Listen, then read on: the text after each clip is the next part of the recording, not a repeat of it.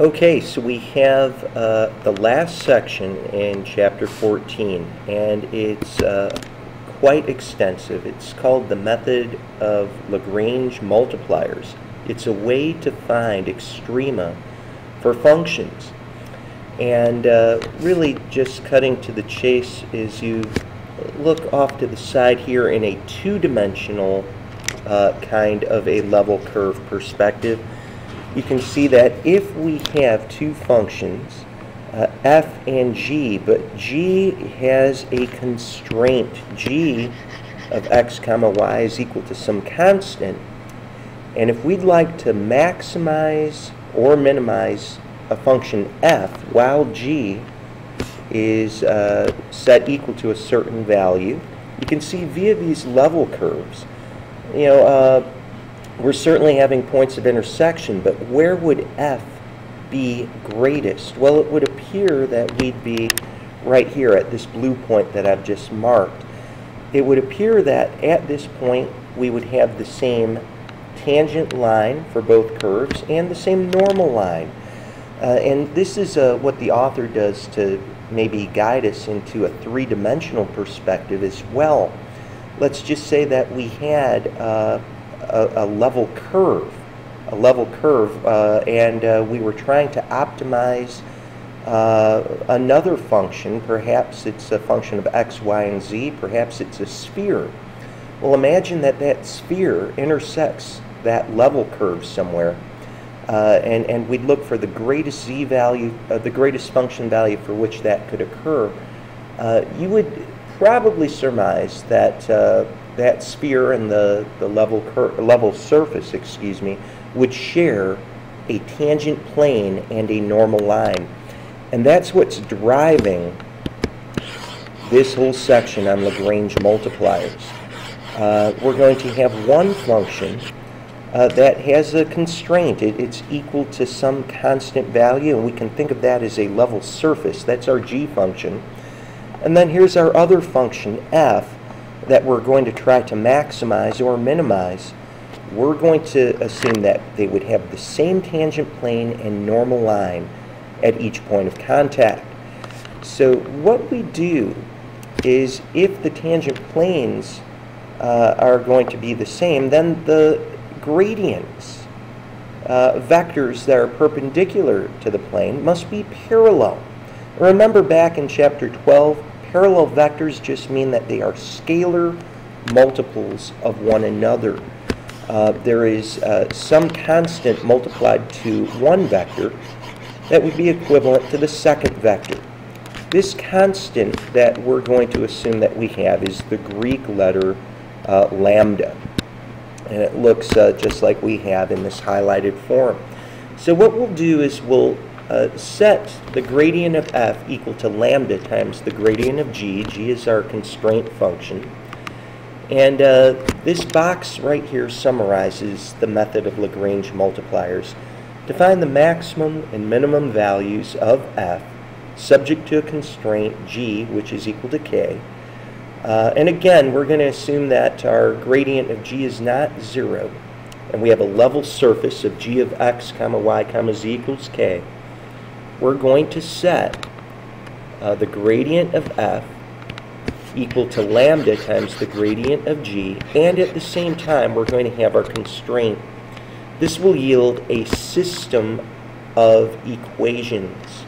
Once we solve this system of equations, we will evaluate f at all the points uh, that are solutions to that system. The largest uh, function value f would be the max value of f, and the smallest would be the minimum. Let's do a quick problem, and you can see that we're going to find extreme values, the biggest and the smallest uh, function values f, while we're on a circle. And uh, you can see why this can be very, very helpful. Uh, our circle is going to be our constraint we're going to say that, let's assume that g of x comma y is equal to x squared plus y squared equals 1. Uh, we can envision this perhaps as our constraint equation. And thankfully, we're even down a variable. We don't even have a, a function of x, y, and z in this regard. And of course over here we have our function as well. So let's find our gradient. Gradient of f, well what's the derivative of f with respect to x? And very quickly I hope we'd agree that would be 2x. How about our derivative of our function with respect to y? We would quickly get 4y. How about our gradient of g? Very similar. Uh, we can look at this as uh, just saying that we'd have the derivative of this function with respect to x would get 2x. Over here we'd have 2y.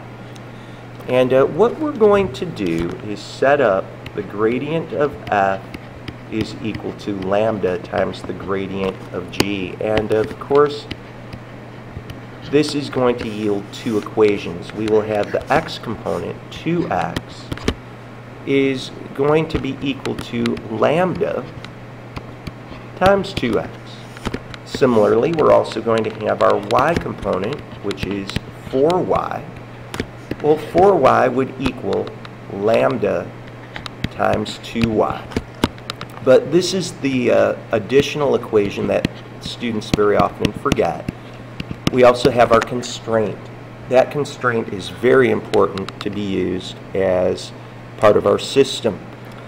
Well, hopefully you can see right here, when I have 2x is equal to lambda of 2x, immediately we could divide out our 2's and just have that x is equal to lambda x. I could subtract lambda x from both sides and I could very quickly factor out an x. Now this will lead us to either x equals 0 or 1 minus lambda equals 0, meaning lambda would equal 1. And uh, at this point, I do want to really point out the constraint equation over here, that x squared plus y squared is equal to 1. We can use that right now to help us. And if x is 0, we have y squared is equal to 1, so y would equal plus or minus 1. This is going to lead us to possible critical numbers of 0, comma 1 and 0, comma negative 1. Well, we also had the situation where lambda was equal to 1.